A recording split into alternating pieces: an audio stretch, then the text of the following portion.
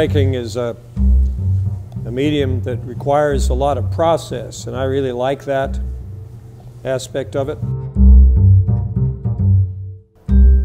My name is Bob Franzini. I am a professor of art at Morehead State University. I'm a printmaker and artist. I started with lithography. Uh, it was my first love in printmaking. I still love lithography. Uh, in fact, I do more lithography now than the other media.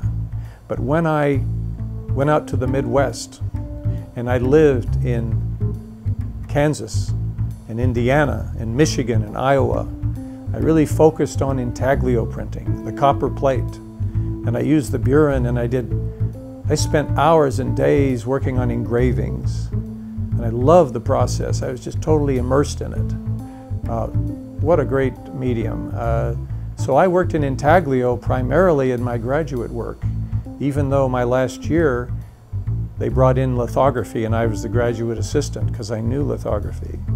When I was an undergraduate student in college on the West Coast, uh, I took a class in painting and I was considering being an art major at the time, even though I had started my studies in engineering. And so I uh, was painting in the studio and I noticed there was a room next to our studio where there were some interesting things going on. So I walked in there and there were lithographic stones there were people working on graining stones and uh, printing lithographs, and it just seemed fascinating to me. Maybe it had to do with my bent towards process and, and uh, engineering, but uh, I took that class the next semester. Printmaking has been the media of choice for me since that time.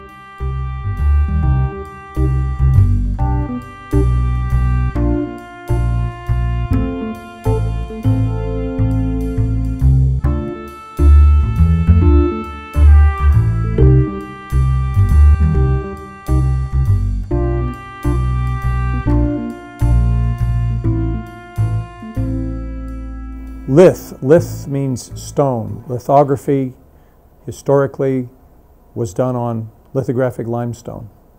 And it's a wonderful matrix or surface upon which to work because of the qualities that it produces in the drawing, in the crayon, in the water drawing material called tusche. You can get beautiful qualities with that that unlike any other medium. And lithography is based on the simple principle that grease and water do not mix. So your image is on the stone. You keep the stone continuously wet with a sponge while you're inking the image. The image is grease. The rest of the stone retains water and repels the ink from the roller.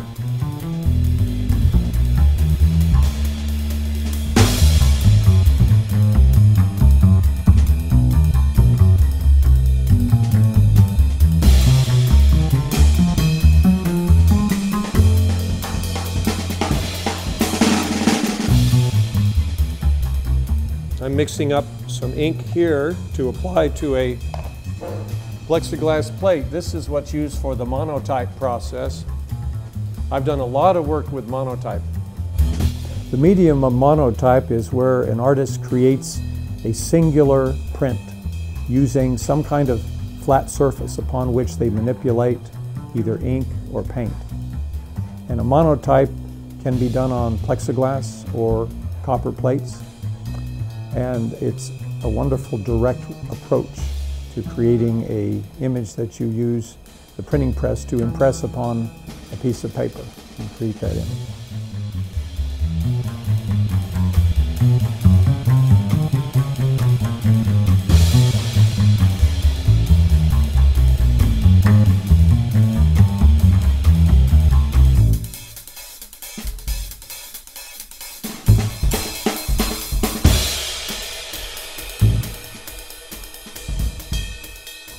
Intaglio is a printmaking process uh, usually using a copper or zinc plate where an artist etches lines or textures into the plate.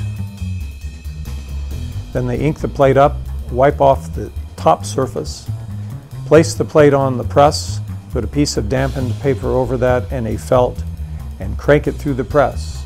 The paper is forced down into the inked depressions, the lines, the textures, and then the impression, the print is pulled off the plate.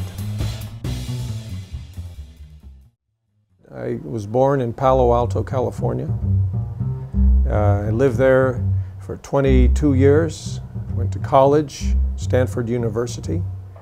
I studied lithography there with Nathan Oliveira, who, although well known as a painter, loved lithography, and uh, some of that rubbed off on me. Uh, artistically speaking, uh, I've always been a visual person. As a child, all I really wanted to do in school was draw.